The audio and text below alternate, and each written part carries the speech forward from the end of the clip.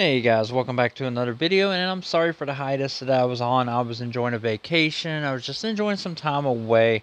But in that time away, I actually did watch quite a few movies, and why not give you a massive movie review with four different movies that I'm going to review, um, and that I watched over this period of time. We'll start with Dungeons and Dragons. This is a movie I didn't really, when I seen the previews in the theater, I was like, I wasn't interested in watching this or anything. I was like, what the fuck ever. I'm not watching this. Uh, it did pair when it premiered on Paramount Plus. I was like, all right, I'll give it a go. It actually turned out to be an all right movie. I actually enjoyed myself watching this movie. It will be a movie that I, I could see myself actually revisiting. Is it the greatest piece of shit that I've ever seen? No, it's not a great great movie. It, you know, it does have flaws and everything, but it was actually entertaining, and I, I did enjoy the movie.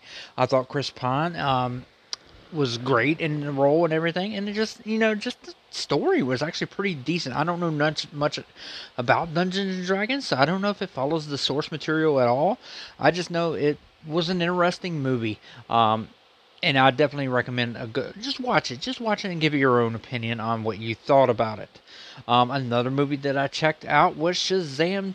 Fear, Shazam! Fury of the Gods. Shazam 2 on uh, not Disney Plus. Um, on uh, Max. And this was the most boringest fucking movie I've ever watched. This is by far, right now, my worst movie of this year of 2023. I was so fucking bored. I was checked out. It was just, it did not keep my interest whatsoever. I had no interest in this movie. And it was just boring to me. I'm sorry. If you liked it, you liked it. That's your opinion. My opinion is this is not a movie that I'm going to rewatch or go back to. It it is on to me on the borderlines of Wonder Woman 2, Wonder Woman 84, of non non watchable DC things. I don't know if it's just because you you feel checked out because it's not going to matter anyway. But yeah, I was just not into this movie whatsoever. It couldn't even keep me my interest as a movie. That's how bad it was. Um, another movie I just checked out was 65, uh, starring Adam Driver. Um, this movie only has four fucking actors in it. Four actors, and that's crazy. Um, but the thing is, it actually kept my interest in this movie. Uh, there was a point where I was like, "Oh my god, this is kind of boring in a ways," but it picked back up a little bit. Um, it reminds me of some other movies. Uh, After Earth is one of them, uh, but After Earth is not a great movie to be compared to. But 65 was interesting. Uh, Adam Driver, he just reminds me of fucking Keanu Reeves in a ways, especially in this movie. Uh, but it was actually very interesting. I actually enjoyed the movie. I, I could see myself going back and rewatching this movie. Um, is it a great movie? No, it's not a fantastic movie where you're going to want to watch this all the fucking time.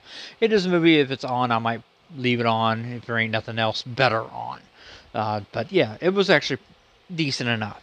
And then, of course, we get to The Little Mermaid. What did I really think of The Little Mermaid? Well, when me and my daughter left, we were kind of like disappointed, I guess, in a ways.